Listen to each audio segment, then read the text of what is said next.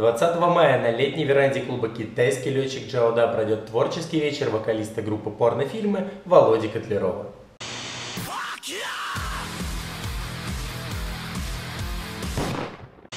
В официальной встрече концерта ВКонтакте написано, что Володя Котляров является одним из самых харизматичных и ярких представителей отечественной панк-сцены, и с этим сложно не согласиться. Также Володя является автором песен и лидером группы порнофильмы.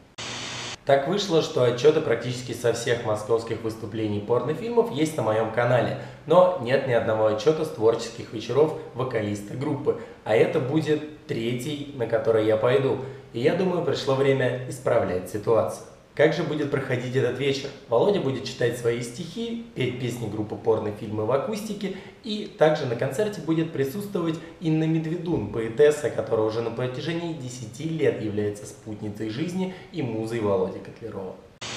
Билеты на это мероприятие еще есть в продаже по 500 рублей, а в день концерта подорожают до 600. Поэтому в эту пятницу встречаемся на летней веранде китайского летчика и подписывайтесь на канал, чтобы не пропустить отчет с этого творческого вечера. А меня зовут Антон Павлов. Пока-пока.